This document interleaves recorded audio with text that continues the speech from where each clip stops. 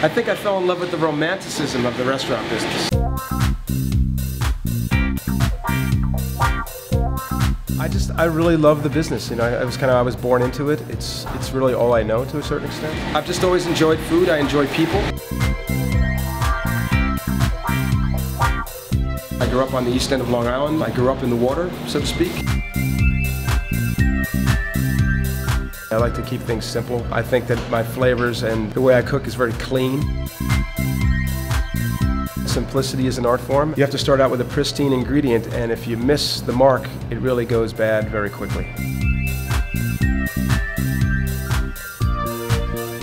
I'm 56 years old. I'm still very much a child, sort of very Peter Pan-esque, and I enjoy that.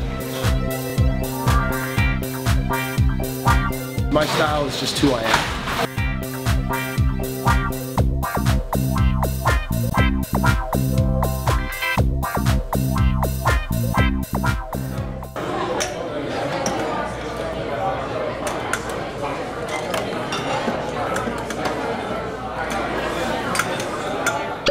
That's a wrap.